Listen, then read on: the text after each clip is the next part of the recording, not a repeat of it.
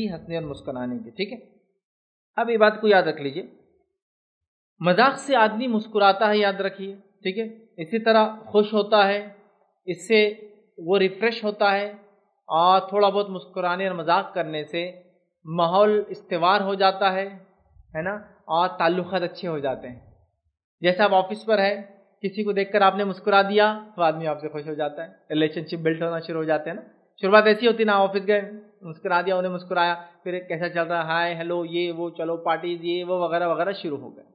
या कभी लोगों में आप बैठे थोड़ा सा आपने मज़ाक की कोई बात कर दी, सब हंस गए और सबने कहा वाह, माशाल्लाह, ये तो बंदा, ये इंसान तो बड़ा अच्छे फितरत अच्छे नेचर का है, इससे तो दोस्ती करना चाहिए। और इंसानी समाज में मामला बनने लगे। अब एक इंसान ना मुस्कुराता है, ना मज़ाक कर सकता है। एकदम जिसको कहेंगे, आप जब भी देखो मुसखत करके तो कोई उससे रिलेशनशिप मेंटेन करना नहीं चाहता है। उसको देखकर अच्छा खासा मतलब एक माहौल चल रहा था, वो माहौल में एकदम बोलते, यार, इसने आ गया तो बारह बज जाते, पूरा माहौल जो बर्बाद कर देता है।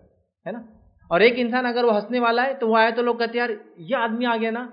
तो पूरा माहौल बदल जाता पूरे पार्टी का या पूरे ग्रुप का या पूरे वर्किंग बिल्कुल एकदम चेंज हो जाती है। जब वो आके थोड़ी सी एक बात कर देता है, सब रिफ्रेश हो जाते हैं और खूब दिल लगा के काम करते हैं और खूब मेहनत करते हैं। ठीक है?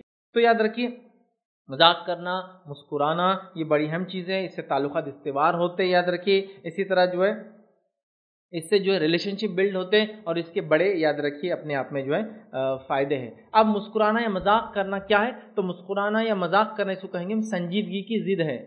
सीरियसनेस का अपोजिट पार्ट है।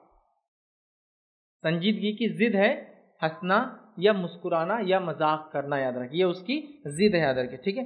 मज़ाक करना